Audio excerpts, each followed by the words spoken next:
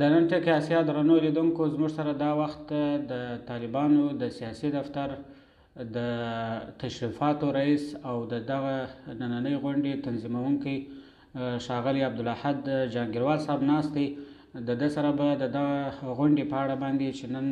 تقریبا د دوحې په درې درې نیم بجې په شراتون هوټل کې تر سره کیږي او د امریکایانو او طالبانو ترمنځ توافق نامه لاسلیک کیږي د ده څخه به پوښتنې وکړو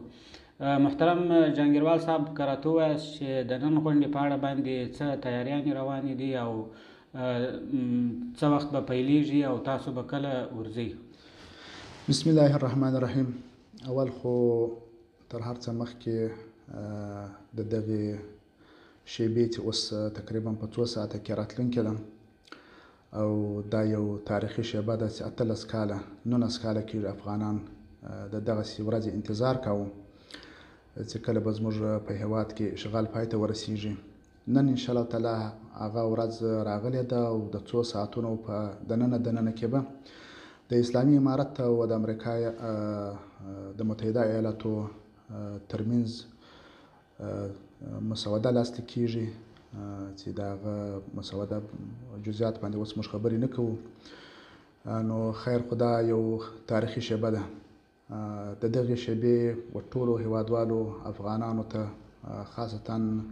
هغه خلکو ته چې په دغه لار کې قرباني ورکړې دي ستړي شوي دي دربدره شوي دي ټولو ته مبارکي وایو دا غونډه نن پر پاکان څلور بجې باندې په شاراتون هوټل کې مراسم پیل کیږي چې د لږ وخت لپاره به دوام وکړي او د امریکا د خارجه وز... خارجه وزیر پمپیو به هم په دغه غونډه کې حضور ولري او زموږ له طرفه به محترم ملا صاحب نابرادر اخوند پکښې کې وي سره له خپل ټوله مذاکراتي ټیم او دفتر له اعضاو تقریبا د 50 شاوخوا ملګري کیږي همدارنګه به په دغه غونډه کې ځینې افغانان ګډون وکړي چې له یو بل خوا څخه راغلي دي یا دلته په قطر کې څه افغانان دي او تقریبا په دغه غونډه کې چې دعوت ورکول شوی ده د افغانستان ټولو ګاونډي هیوادونو ته د ملګرو ملتونو د امنیت شورا دایمي غړي هغه ته دعوت ورکول شوی ده په کې کې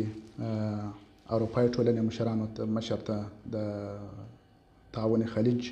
هېوادونو ته تقریبا دغه ټول هېوادونه چې کېږي سره له دغه ځینو مؤسساتو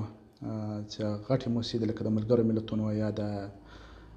افریقي اتحاد یا اروپایي اتحاد دا اووه ویشت دغه کیږي مؤسسات او هیوادونه کیږي چې د هغوی تقریبا د خارجه وزارت په سطح باندې دعوت ورکول شوی ده او دوی به دلته ګډون پکې کوي همدارنګه د امریکایانو تعداد خو موږ ته نه ده معلوم خو هلته چې دوی ته کم ترتیب نیول شوی ده تقریبا د پنځوسو شاوخوا امریکایي دغه وي د دوی کسان وي په دغه غونډه کې به د افغانستان د حکومت نمایندګي موجوده وي نه چون دغه تړون د امريکايانو او د اسلامي امارت تر مابين ده نو په دغه وجه باندې د افغانستان حکومت په دغه کښې شرکت نه لري او د دوی هيڅ نماينده به په دغه غونډه کښې نه وي موجود. او داسې اورېدل کېږي چې د قطر امير شيخ تميم به هم په دغه غونډه کې ګډون کوي په دې اړه باندې که تاسو تازه معلومات لرئ؟ مخکې موږ ته دغسې ویل شوي دي چې هغه به ګډون کوي خو تر اوسه پورې دا خبره یقیني نه ده چې هغه اوس ګډون کوي که نه کوي. او نور د قطریانو له اړخه به څوک ګډون کوي؟ د هغوی خارجه وزیر به وي شیخ عبدالرحمن او د افغانستان دپاره خاص استازی قحطاني او نور چې د دوی هغه د خارجه وزارت کسان به وي پکښې کې همدارنګه په دغه کې غونډه کې هغه دغو ټولو ممالکو سفیران ته دعوت ورکول شوی دی چې هغه په دوحه کې دي په قطر کې دي هغه هغوی هم دعوت شوي دي دې غونډې ته تقریبا د ټول د ټولو ګډونوالو شمیر به څومره تقریبا د 200 شاوخوا به 200 شاوخوا کسان په دې غونډه کې ګډون وکړي او دا کسان سره دعوت کړي دي دغه سفیران دي یا دغه کیږي یا د اکثر یعنی ټول خپل د کوربه هیواد قطر چارواکو را دعوت کړي دي